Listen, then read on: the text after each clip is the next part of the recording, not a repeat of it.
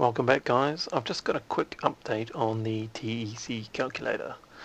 Uh, this was last updated in 2007 and I've just updated it. Actually, I pretty much finished it finally, uh, 10 years later. So I'm not going to go into what every button does and what it all means. That's something you can watch in the previous episode. But I'm going to talk about the new features that I have added. So what I've done now is I've changed the hot side temperature to ambient and I've added the CW rating here. Previously you just changed this temperature and it changed the hot side and it gave you your curve. The problem with this is that you had to really I guess come to your own conclusion that the rate at which the delta is increasing is reducing while the rate at which how much power is getting used is increasing and you had to kind of draw a correlation that that probably is not a good idea to run it at 100%. So what I've done here is I've added in hot side cooling uh, which if we add that in we get this graph which is way more useful because before it you ended up believing that your actual performance was going to be a lot better than reality. So now we have the hot side, which is getting hotter, and the cold side, which is getting colder to a point and then getting hotter. You've got the yellow line, which is ambient, and the grey line, which is no TEC. So if you just took your 160 watts and you put a cooler on it of 0.1, then you would get uh, whatever that's going to be, 67-ish degrees without the TEC. So we can see that the TEC is helping all the way through to 80%. But we can also see that we definitely should not be running it at 80%, 70%, 60%, and uh, roughly about 50% will result in the best performance.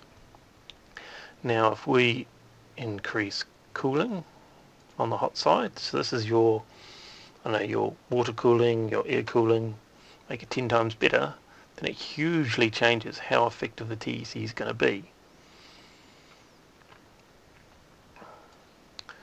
So this probably, if we go back to say point two, this indication here is what commonly people experience.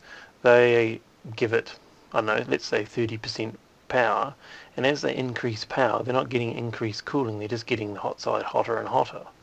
And that is because you simply don't have enough cooling on the hot side. Now obviously it's going to be rather dependent on how good your CW is on the hot side based on what kind of performance you're going to get. And so what I've done is I've added this button here which gives us some examples uh, of some common cooling. There's an air cooler there uh, and a few water cooling blocks. Now it's important to realize that the numbers that I've got in here, these are currently pretty much the best water coolers and air coolers around and if you're not using them then you'd have a higher number. Also the air, the, sorry, the water cooling blocks we've got in here, they're complete systems and they are at full fan speed, which might be between 2,500 to 3,000 RPM.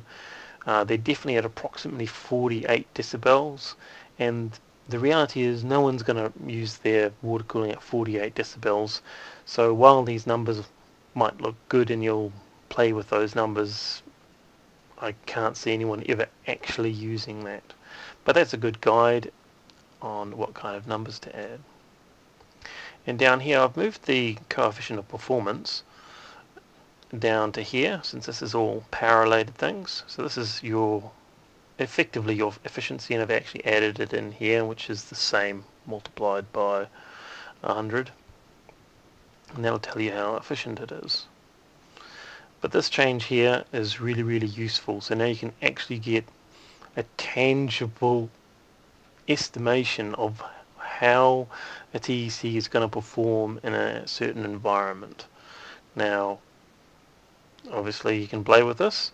It doesn't include cold side CW. You'd normally have a, uh, a heat spreader on the on the cold side. I haven't included at this that at this time. I don't think it's particularly important. It is something to be mindful of, but it's more important to have that hot side CW, which is really good fun to play with. Uh, this only allows you to go up to 200 degrees for obvious reasons. Most TECs actually require you to be under 200, but I've made it to 200 and it makes it a bit easy to see where, well we're way over. So in that case, the best we're going to get with that cooling is about 20%. And at that point you can see it's barely better than just not using the TEC at all and just uh, cooling your 160 watt load with a 0.3 CW. So I'm sure you're all going to rush out and start adding a whole bunch of radiators because it makes a big difference. Alright guys, hopefully you've enjoyed that one. We shall see you on the next one.